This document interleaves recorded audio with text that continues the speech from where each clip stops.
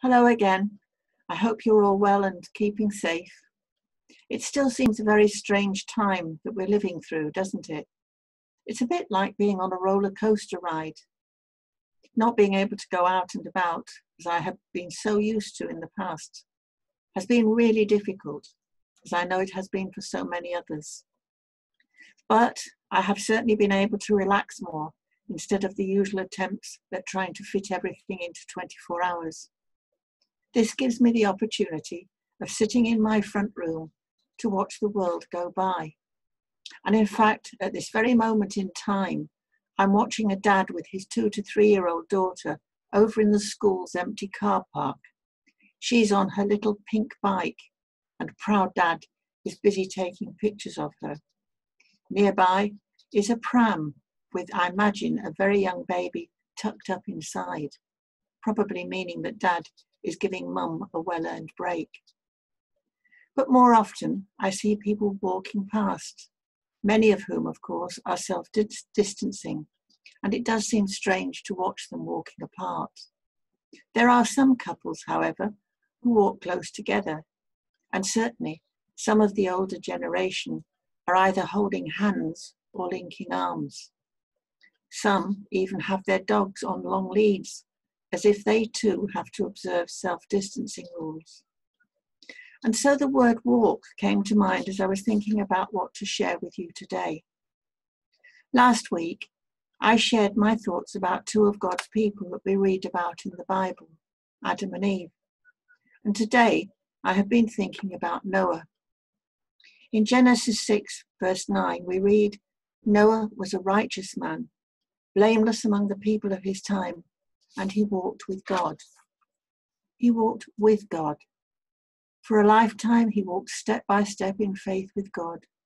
So strengthened by his faith that he walked with God, Noah was unable to do whatever God asked of him, like building an ark in preparation for the overwhelming flood that was to come. To most of his family, his friends, and those around him, this was an outlandish idea certainly not to be considered either to be true and certainly not a feasible, sensible project. But Noah knew without a doubt that this was exactly what God was telling him to do.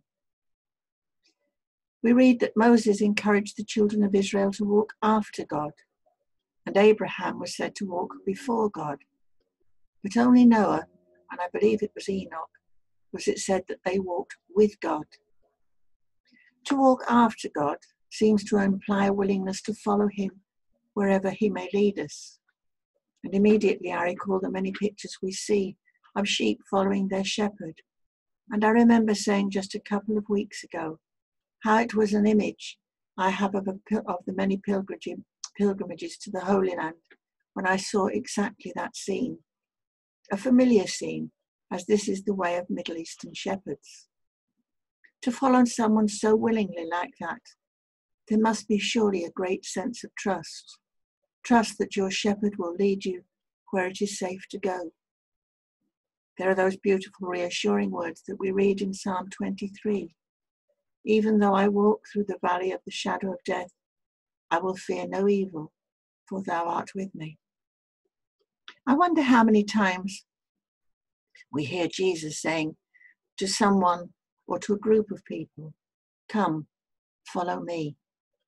Certainly, it was a call that some of the disciples heard, and they responded immediately. We hear the words that say, Be not afraid. I go before you always. Come, follow me. To walk before God suggests that there is the firm conviction that you will never be left alone to find your own way, that He will never ever leave you, he will be there to protect you wherever you may travel. But to walk with God is to be constantly by His side, to be in such a close relationship with Him that you will pray to Him, talk to Him, take your thoughts and anxieties to, it, to Him, knowing He is ne- that near to you wherever you may be, whatever situation in which you may find yourself, knowing that He loves and cares for you and he walks with you as well. These words in the book of Proverbs are an appropriate reminder of how we should trust in God. Trust in the Lord with all your heart and lean not on your own understanding. In all your ways, acknowledge Him, and He will make your path straight. Some of you may remember hearing Mario Lanza singing a song from the very old film, The Student Prince. And it starts I'll walk with God from this day on. His helping hand I'll lean upon. This is my prayer, my humble plea. May the Lord be ever with me. And it finishes with these lovely words I'll never walk alone whilst I walk with God. So, how would you describe your daily work, walk with God? Do you walk before Him, after Him, or with Him? I'm sure that most of us would want to walk always with Him.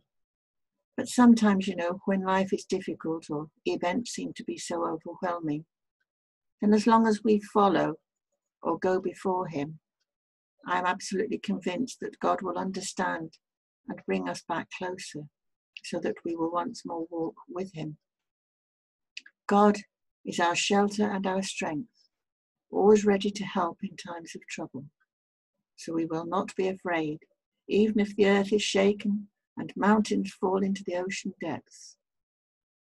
And I've taken those words from Psalm 46, and they must surely reassure us of God's presence always, His constant care, His love, and His guidance.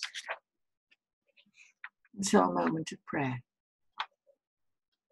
And these words are taken from the prayer written by St. Patrick Christ be with me, Christ within me, Christ behind me, Christ before me, Christ beside me, Christ to win me, Christ to comfort and restore me, Christ beneath me, Christ above me, Christ in quiet, Christ in danger, Christ in hearts of all that love me, Christ in mouth of friend and stranger. So let us finish by saying the words of the grace together. May the grace of our Lord Jesus Christ and the love of God and the fellowship of the Holy Spirit be with us all evermore. Amen. So love and God bless you all. Amen.